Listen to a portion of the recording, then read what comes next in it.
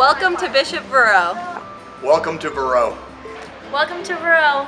Welcome to Bishop Verot Catholic High School, located at 5598 Sunrise Drive. Verot was established in 1962 after the first bishop of Florida, Bishop Augustine Verot. Bishop Verot was rated one of the nation's top 50 Catholic high schools. 99% of Verot's 636 students graduate and go on to college, while the other 1% join the armed forces.